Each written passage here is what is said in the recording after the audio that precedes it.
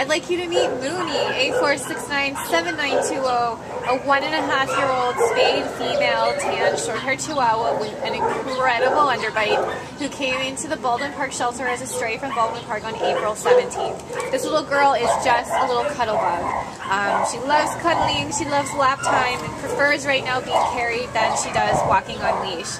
And that's because she's a little overwhelmed here in the shelter environment, which makes sense. If I were only six pounds, I would be overwhelmed here as well. Um, but we think she's got a puppy personality just waiting to come out once she gets out of here and into a home. She's fine with other dogs, as you can see, affectionate with people, got a really soulful expression to her eyes. Uh, Anna, is there anything else you want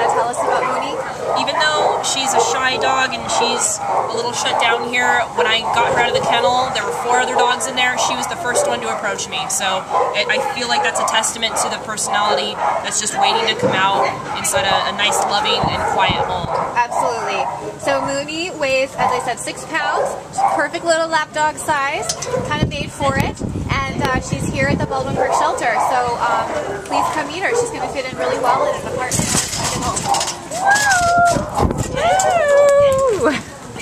But should we stop it now?